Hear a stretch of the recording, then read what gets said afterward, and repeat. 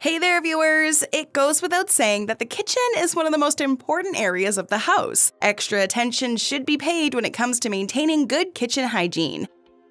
It's important to keep your kitchen healthy, especially during a pandemic. In today's video, we'll be discussing some golden rules that will help you fight off bacteria and keep your kitchen looking gorgeous. Whether it's washing your hands, storing food properly, or separating chopping boards, we'll be discussing all of this and more.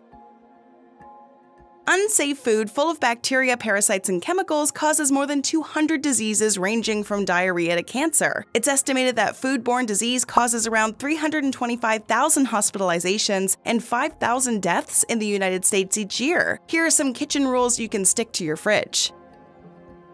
Number 1. Don't forget to wash your hands. Hand washing is one of the most basic hygiene practices you should follow to prevent foodborne diseases. Whether you're prepping your food for your family, it's a habit you should stick to. Your hands can spread germs in the kitchen. Some germs, like salmonella, can make you really sick.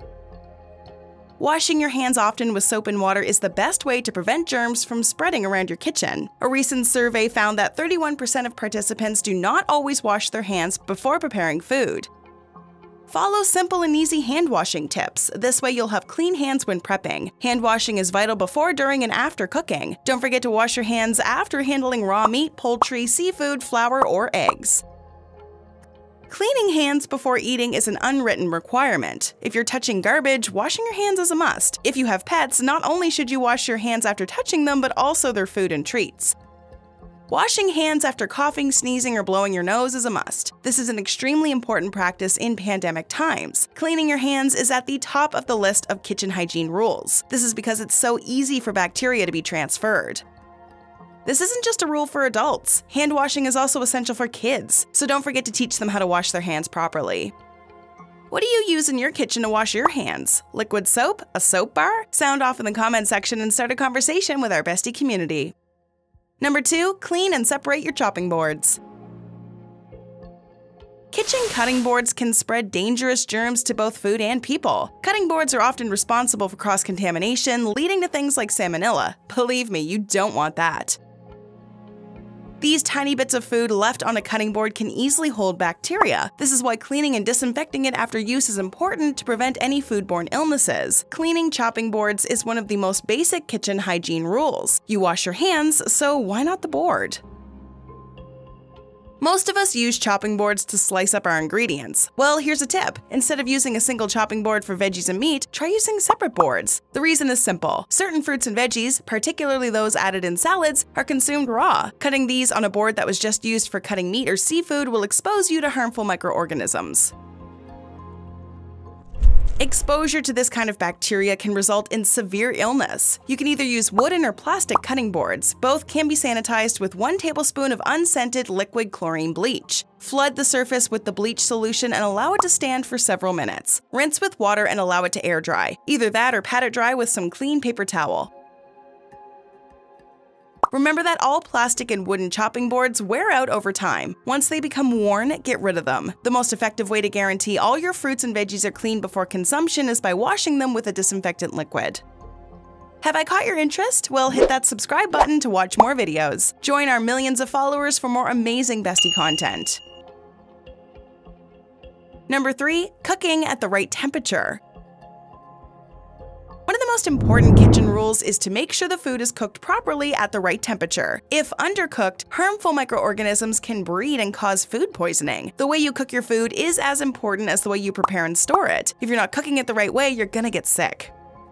It's estimated that every year around 600 million people worldwide get sick after eating contaminated food. Out of that, close to 4,200,000 die. Cross contamination between raw and cooked foods may also lead to food poisoning. Most foods, particularly meat, poultry, fish, and eggs, need to be cooked to kill off dangerous particles. Food should be cooked to a temperature of at least 75 degrees Celsius or 167 degrees Fahrenheit. After the cooking process is complete, the food should be consumed as soon as possible. If reheated, the food should be hotter than 60 degrees Celsius, 140 degrees Fahrenheit. Bacteria grows on some foods easier than others. High risk foods include raw and cooked meat, dairy farm products, eggs, seafood, and ready to eat products. Remember to boil soups, sauces, gravies, and casseroles. Otherwise, dangerous microorganisms will survive. Make sure only clear juices are running from cooked minced meats, chicken, and roasts.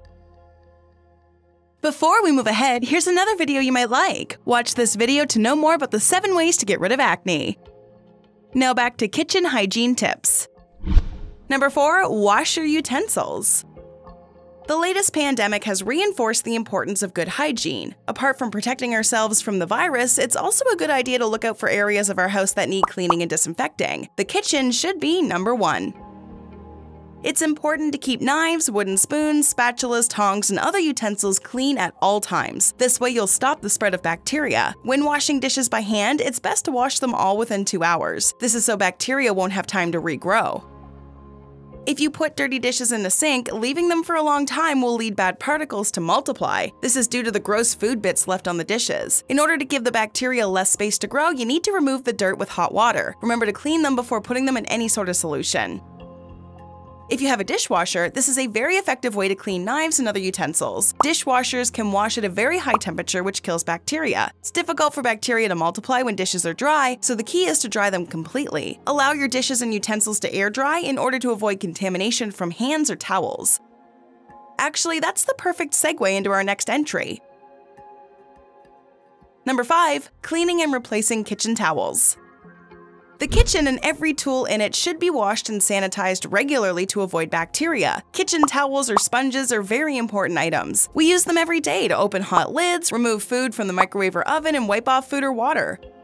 Sometimes we get wet while using these towels. This is where microorganisms come in. They collect on damp surfaces. Bacteria are attracted to warm, moist environments, which is why the kitchen is one of the dirtiest parts of the house. Cross contamination runs rampant in the kitchen, which causes microbes to spread and multiply.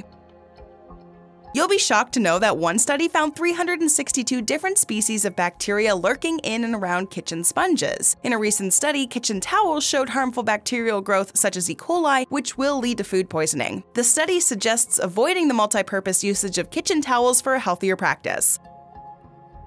Remember to clean and replace your kitchen sponges and towels. Experts notice the absence of pathogens from single use towels. This suggests that proper hygiene could play a huge role in preventing bad bacteria.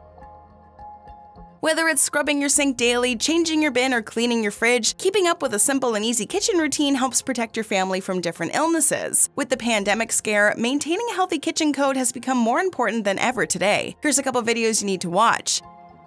Check out 7 ways to keep your groceries clean during COVID 19. Or how about 11 common kitchen items that are secretly toxic? Go ahead, click one. Or better yet, watch both and learn how little lifestyle changes can help you survive this pandemic. Do you know any interesting ways to maintain kitchen hygiene? Let us know in the comments below.